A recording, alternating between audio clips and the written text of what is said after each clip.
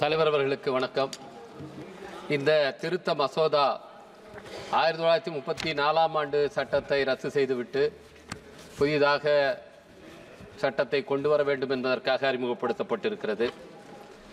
அதற்குள்ளே இருக்கிற விஷயங்களை படித்து பார்க்கும்போது இந்த விவரங்களில் மாற்றம் செய்வதை விட இந்த மசோதாவின் பெயரிலே மாற்றம் செய்து அதை ஆங்கிலத்திலிருந்து இந்தி சமஸ்கிருதத்துக்கு மாற்ற வேண்டும் என்கின்ற நோக்கத்தோடு தான் இது செய்யப்பட்டிருக்கிறது என்பது போல தெரிகிறது.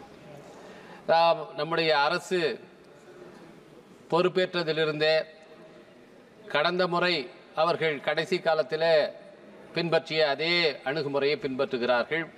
கிரிமினல் சட்டங்களுக்கு இதே போலத்தான் இந்தியிலே சமஸ்கிருதத்திலே பெயர் வைத்தார்கள்.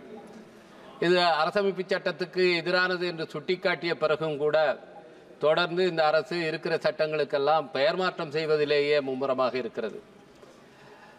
இந்த மசோதாவுக்கு மேல் பேசுவது மட்டுமின்றி என்னுடைய தொகுதியிலே விமான சேவை தொடர்பான நீண்டகால கோரிக்கையை நான் மீண்டும் வலியுறுத்த விரும்புகிறேன். கடந்த பதினேழாவது நாடாளுமன்றத்தில் நான் எனது தொகுதியிலே இருக்கிற உளுந்தூர்பேட்டை அங்கே இரண்டாவது உலகப்போர் நேரத்தில் விமான ஓடுபாதை அமைக்கப்பட்டு அது இப்பொழுதும் அப்படியே இருக்கிறது.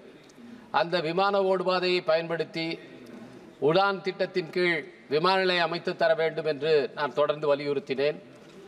அது பட்டியலிலே சேர்க்கப்பட்டதாக எனக்கு பதில் அளிக்கப்பட்டது. ஆனால் அதற்கு மேல் எந்த நடவடிக்கையும் இல்லை. முதலில் என்ன சொன்னார்கள் என்றால் அருகாமையில் இருக்கிற நெய்வேலியிலே நாங்கள் லைசன்ஸ் கொடுத்திருக்கிறோம். அங்கே வருவதால் இங்கே வழங்க முடியாது என்றார்கள். நெய்வேலிக்கு லைசன்ஸ் கொடுத்தும் கூட அங்கே விமான நிலையம் ஆரம்பிக்கப்படவே இல்லை. இப்பொழுது உளுந்தூர்பேட்டையை மையமாக கொண்டு ஒரு விமான நிலையத்தை நீங்கள் ஆரம்பித்தால் அது பக்கத்திலே இருக்கிற கடலூர் பெரம்பலூர் திருச்சி அதுபோல் கள்ளக்குறிச்சி விழுப்புரம் என்று அனைத்து மாவட்டங்களுக்கும் அது பயனுள்ளதாக இருக்கும்.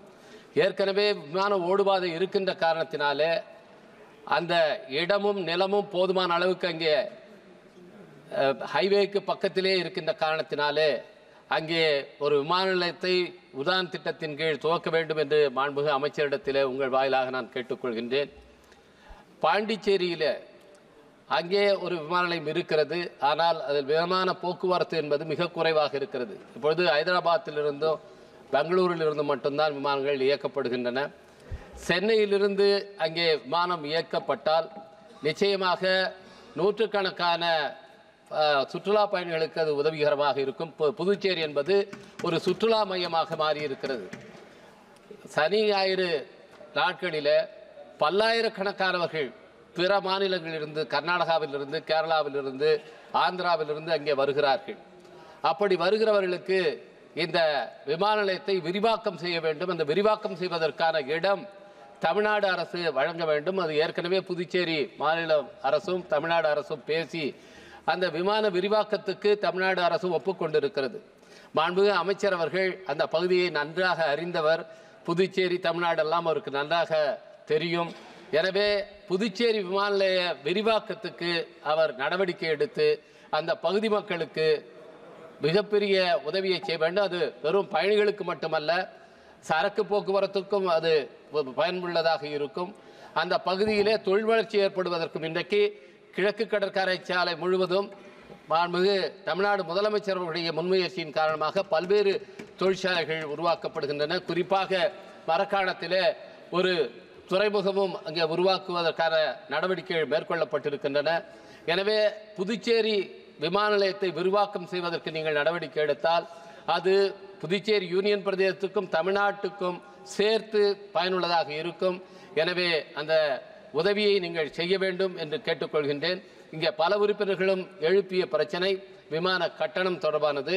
அந்த விமான கட்டணத்தை கட்டுப்படுத்துவதற்கு நாம் நாங்கள் விமான டிக்கெட் புக் பண்ணும்போது முதலே ஒரு தொகை காட்டுகிறது முப்பதாயிரம் என்று காட்டுகிறது. புக் செய்ய போனால் அறுபதாயிரமாக சில நொடிகளிலே மாறிவிடுகிறது. இன்றைக்கு ஆர்டிஃபிஷியல் இன்டெலிஜென்ஸ் மூலமாக நீங்கள் எந்த சேவையை தேடுகிறீர்களோ அதனுடைய டிக்கெட் விலை உயர்வது போல அந்த நிறுவனங்கள் ஏற்பாடு செய்திருக்கிறார்கள்.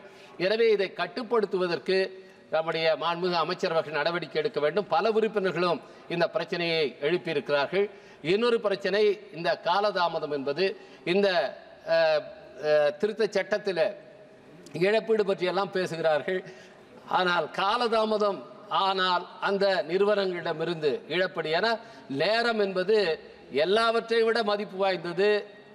அதை நாம் திரும்ப பெற முடியாது. ஐந்து மணி நேரம் ஒரு நாடாளுமன்ற உறுப்பினர் விமான நிலையத்தில் பா காத்திருக்க வேண்டி இருக்கிறது என்று சொன்னால் அந்த ஐந்து மணி நேரத்தை திரும்ப யாராலும் அவருக்கு தர முடியாது.